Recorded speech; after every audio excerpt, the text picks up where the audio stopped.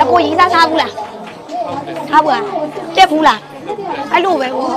တာမန်လူတွေလိုပါပဲဟုတ်လားဆိုတော့အခုလည်းဘယ်လိုဖြစ်သွားလဲဒါပေမဲ့တာမန်လူမဲ့အခုနဲ့ထက်နဲ့ကြပေါ်ရဲဆိုတော့လေတောင်းတတာခံစားချက်ပုံစံဒီမှာပုံနေတော့အဲ့ကောင်ရောဘယ်လိုလေးဖြစ်လဲလို့ပြောရတဲ့အချိန်တက်လာလေးနေရလေနောက်တရားခဲ့ပြီးဆိုတာကိုသိလဲ